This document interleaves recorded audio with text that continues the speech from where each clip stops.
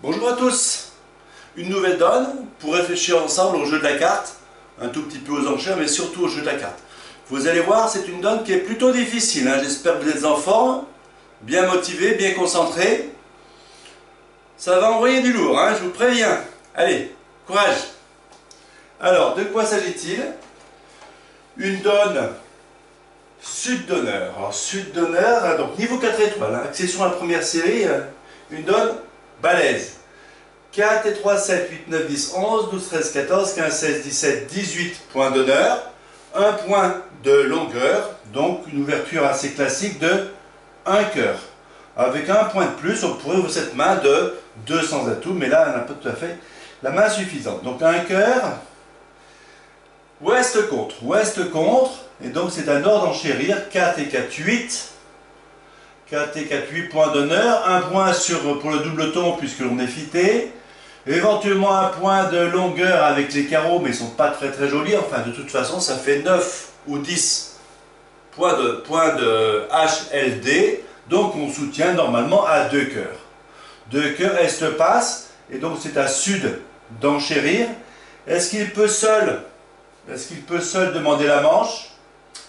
Peut-être que oui, si le partenaire est vraiment minimum, ça peut être compliqué parce que les rois que j'ai ici sont plutôt mal placés par rapport à la main qui est un peu forte à cause du contre. Ici, on a une main un petit peu forte, une ouverture, on va dire. Donc, il y a des chances qu'il ait les as mineurs si mon partenaire est minimum. Donc, on va quand même poser la question. Donc, 200 atouts, une enchère d'essai, bien sûr.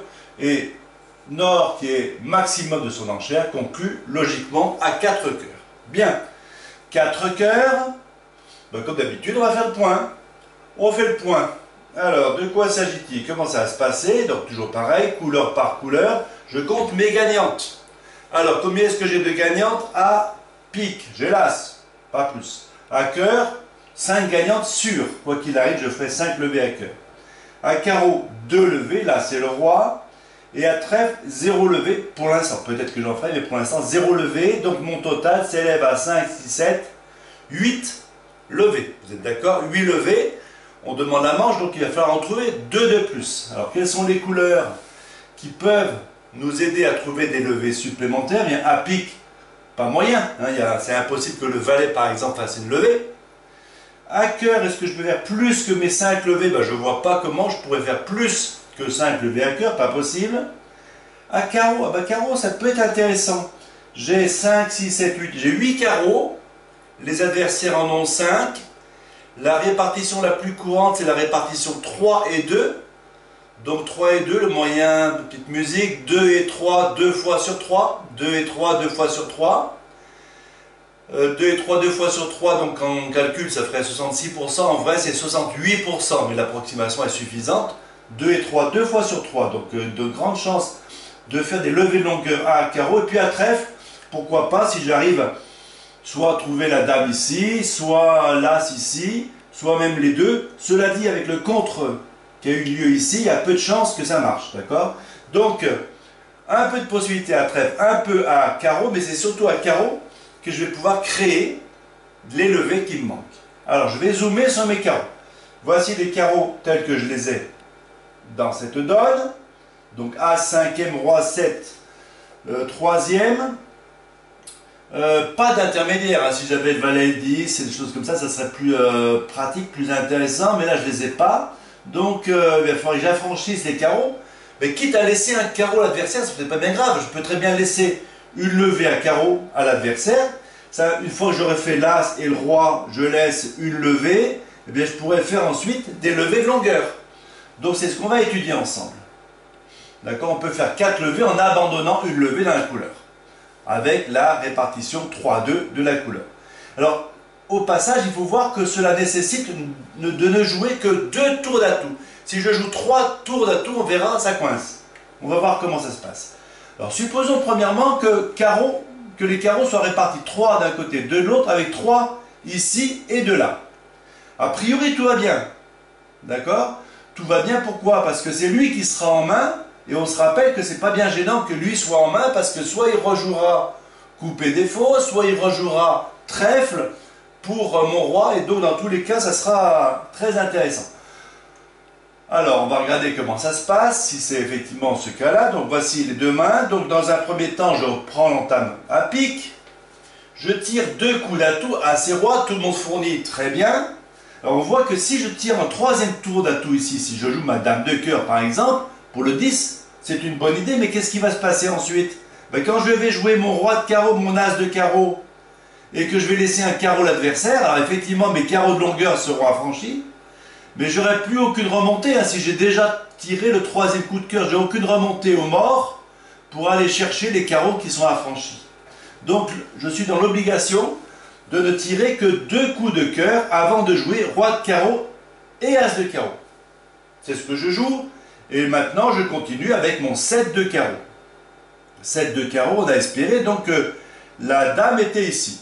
Donc le 7 de carreau, lui met sa dame, je mets bien sûr, je vais mettre un petit carreau. Hein, je mets bien sûr un petit carreau ici, pardon, un petit carreau ici. Euh, et ici, qu'est-ce qu'on défausse? On défausse soit un trèfle, un pic. Est-ce qu'on est obligé de défausser? Non, hein On n'est pas obligé de couper au bridge, mais on a le droit quand même, heureusement, même de couper les cartes maîtresses du partenaire. Donc carreau, la dame, un carreau. Je coupe ici, je coupe ici, je rejoue trèfle mon partenaire va faire As, Dame de trèfle, donc on aura fait As de trèfle, Dame de trèfle, la coupe ici, il est en main, il tire la Dame de pique, et le contrat va chuter. Donc même si les carreaux sont 3 ici et 2 là, il y a pas mal de cas où je vais chuter quand même. Alors on pourrait dire, bah, on ce qui se passe si c'est lui qui a 3 carreaux. Ben là c'est encore pire parce qu'on est sûr qu'il prendra la main, et s'il prend la main, mais bien sûr il rejouera là aussi trèfle pour nous faire chuter, puisque vraisemblablement il y a As et Dame de trèfle, en ouest. Alors, donc voilà les, deux mains. Donc dans le cas où lui a trois carreaux, hein, donc là on voit bien effectivement ce qui va se passer. Deux coups de cœur maître. Je joue carreau en espérant que ça soit lui qui prenne la main et qu'il puisse pas m'embêter. Malheureusement, c'est lui qui prend la main et qui va revenir trèfle pour la chute. Alors là, ça commence à être compliqué. Est-ce qu'on pourrait affranchir les carreaux sans donner la main à Est? Voilà faut gamberger, hein. Faut être malin, faut être malin comme un singe. Voilà, ça c'est nous. On réfléchit. Malin comme un singe. Qu'est-ce qu'on pourrait faire, malin comme un singe? On se rappelle qu'on a eu l'entame pique. Bien, on va laisser l'adversaire faire deux levées à pique pour pouvoir défausser un carreau sur l'as de pique. C'est pas évident, hein. Ne me dites pas, oh là là là, je l'aurais jamais trouvé. Oui, peut-être qu'on ne l'aurait pas trouvé, mais ce qui est intéressant, c'est d'acquérir petit à petit cette, euh, euh, capacité à générer des solutions comme celle-ci. Hein. Alors, je vais laisser passer deux fois l'entame. Alors, entame pique, je ne mets pas mon as, il revient de son pic maître, je ne mets toujours pas mon as. Il revient quoi? Je sais pas, qu'importe. Là, en l'occurrence, il revient pique, je mets mon as de pique, je défausse un carreau ici. C'est là où ça devient intéressant. Je défausse un carreau ici, puis je continue mon jeu. Je tire As et Roi de cœur, tout le monde fournit, je suis bien content. Je tire Roi de carreau et As de carreau, j'ai plus de carreau en main. Je peux maintenant couper un carreau, hein, je suis au mort, hein. je peux maintenant couper un carreau avec un atout maître, la dame par exemple.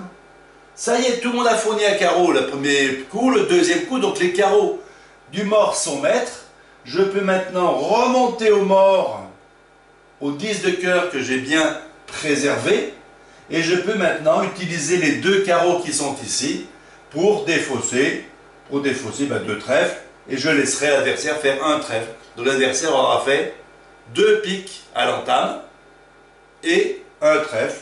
Je vais donc gagner mon contrat. Voilà, je vous mets les quatre mains, je vous laisse regarder ça tranquillement. D'accord? Donc effectivement, entame roi de pique, je laisse passer, dame de pique, je laisse passer, il revient ce qu'il veut, il peut revenir carreau aussi s'il a envie, c'est pas bien grave, hein même à tout ce qu'il veut, qu'importe. Je pourrais défausser un carreau sur l'as de pique, je pourrais tirer mes deux coups de cœur de débarras, utiliser ensuite le 10 de cœur comme remontée quand j'aurai affranchi mes carreaux par la coupe. Voilà cette donne. Je suis d'accord avec vous, hein, je vois, ça fume là un petit peu. Hein. C'est normal, c'est normal, c'était compliqué. Le conseil du jour, certaines situations nécessitent un maniement inhabituel des couleurs à affranchir. Typiquement, c'était pas évident de ne pas faire le pli de l'as de pique au premier tour ou à la deuxième tour. Là, il faut savoir faire preuve d'imagination pour les repérer, et une fois qu'on l'a repéré, d'application. Hein, on a vu tous les petits points de détail sur lesquels il fallait être vigilant pour euh, gagner le contrat. Voilà, j'espère que je vous ai pas trop fait mal à la tête, un petit coup d'effet peut-être, et puis on se retrouve euh, demain. Allez, bonne journée